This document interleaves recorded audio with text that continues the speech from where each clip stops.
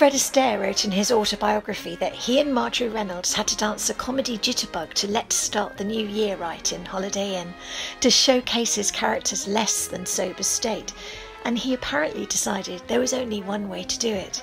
He writes that he drank two large shots of bourbon before the first take and one before each succeeding take, and recalled, I had to fall down on my face and be carried out for the finish.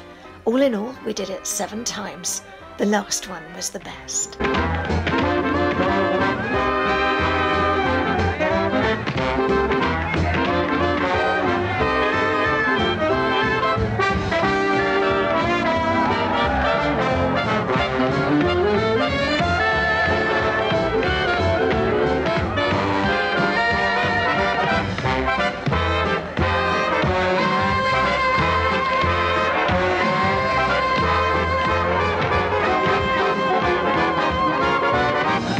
Just